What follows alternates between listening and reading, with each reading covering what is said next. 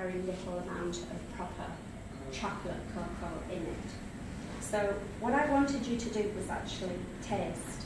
So this is actually only a 50. So if you just take one of these, cal- these are called calories, these little buttons. Okay. So this is a fi- just over 50% chocolate.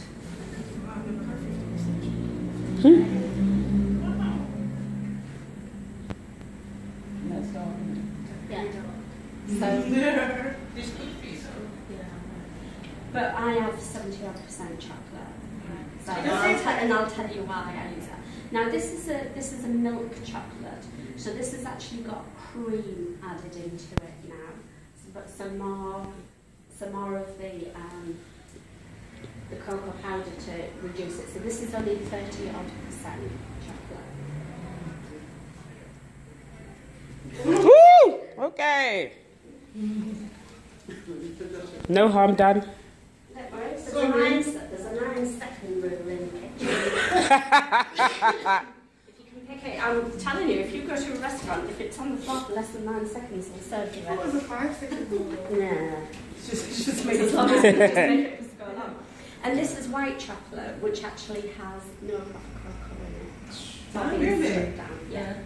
So this is more just like a pure cocoa butter with cream in it. You can take my one out Yeah. They're the best, these little fruity fishes, but they're simple and light to carry around. Okay. So if you buy cooking chocolate, you can melt it and smother it.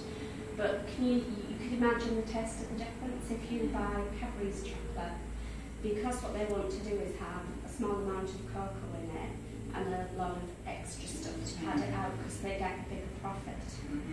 Then um, they'll mix it with other products or put more cream in it or low grade type cocoa or extra cocoa powder. So manufacturers will actually blend it, but I only work with pure Belgian chocolate and I'll work up to a 90% chocolate. Chocolate doesn't mix with water. So if you in the future work with any chocolate and you melt it down, um, this chocolate isn't in temper, which is why it's that dusty colour. So you know sometimes you can buy, I know that Thorntons do it, and they sell the bags of truffles off cheap, and when you open them up they're all dusty coloured. There's absolutely nothing wrong with it. The only problem is, is that the chocolate wasn't in what's called temper properly. So this is a science process that you have to do with chocolate. And when you get it right, it gives you that, that shiny colour and it gives you the snap. So that's what you would get with those truffles that I've made earlier on. Um, but you can pour a lot of cream onto chocolate, which is what we're going to do to make the ganache. Now the ganache, as all as we're going to do today, is make a basic ganache. I've brought some flavourings with me so that you can flavour it. And then we're going to let it chill and we'll talk a little bit more about chocolate. And then what you're going to do is roll them into little balls and the smaller you want, right size big, and the more that you make and take away with you. And I've brought some bags and some ribbon for you to take them away with you. And then I've also brought various different things that you can actually coat them in. Um, so because we only had a small amount of time, I'm not actually going to temper any chocolate today. Um, to, because that would take quite a while because you've got to reach certain temperatures to make it all temper and we can talk through that when we've done that. So the only other thing that you need to know is that because of the percentage of cocoa inside these these calories, this chocolate, it means that um, you'll use a different amount of cream for it. So that higher percentage chocolate, you'll do a one-to-one ratio. So one gram of chocolate or 100 grams of chocolate is 100 grams cream. You want a double cream and you want it as a high fat percent content as possible. There's absolutely no skin in having truffles. okay? You'll slightly reduce the amount of cream that you use for a milk chocolate. And you'll probably use something like 50% cream to your white chocolate. Otherwise, this will become very runny, which is absolutely fine if you're putting it into a shell. Um, but it won't, you won't be able to roll it to make truffles.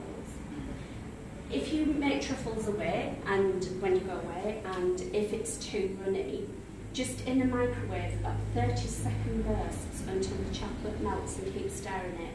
Just 30 second bursts, keep just melting down a little bit of chocolate and then slowly add your ganache back into that chocolate and then it'll thicken it up because you've added a, a more of a chocolate content into it and then that'll make it rollable. You don't actually have to roll chocolate. You can actually just pop it into a tin um, and you can actually slice it and just leave it as it is. You don't have to cover it or do anything. Or you could just eat it whole. You can actually just take the bowl and the spoon and you can eat it. Or your thumb, your fingers if you do. Okay. So what I've got is a heap of cream that needs a shake. And I've brought a couple of jugs to go into the microwave. And we've already weighed out 150 grams of chocolate into these dishes. So we've got two dishes with the darker chocolate in. And we've got, and if you don't want these ones, we can change it around. We've got three dishes with white chocolate in. And we've got, I don't know how many, that one's five. we've got five dishes with the milk chocolate in. Okay? So we need a spoon.